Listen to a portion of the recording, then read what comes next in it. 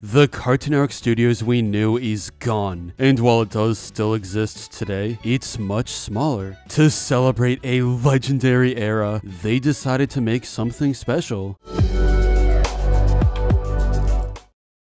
Within the walls of this seemingly normal building, some of your favorite Cartoon shows were born. The building was a symbol of creative freedom. Unfortunately, the headquarters closed its doors in 2023 as the remaining employees moved to a new building along with the people at Warner Bros. Animation. Still, one part shined above the rest. Its iconic stairwell with custom art from all the legendary creators and passersby. The stairwell would eventually be painted over, but before that, people at the studio took matters into their own hands and preserved the history forever. This is the new official Cartoon Network Studio stairwell site, which keeps the magic alive in an online museum. Welcome to the stairwell that tells the story of a studio, one step and sketch at a time. This blurb details what the stairwell meant for the industry. The stairwell was a part of history they couldn't lose. So for the first time ever, we can finally peek inside. The whole thing is interactive too. You can walk around, zoom in, and take time to appreciate the unbelievable Easter eggs and drawings.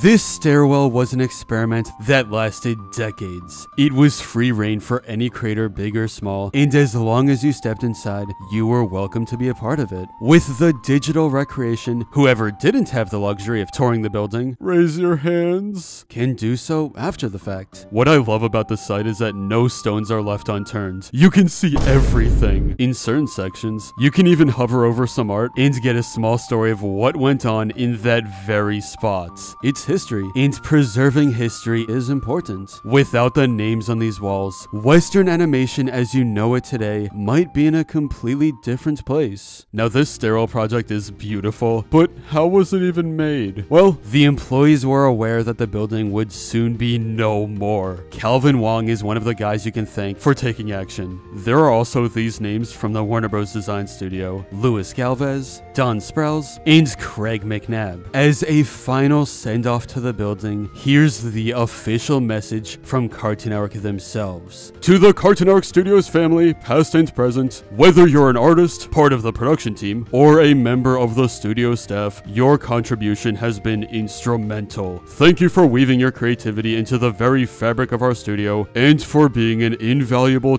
chapter in our story.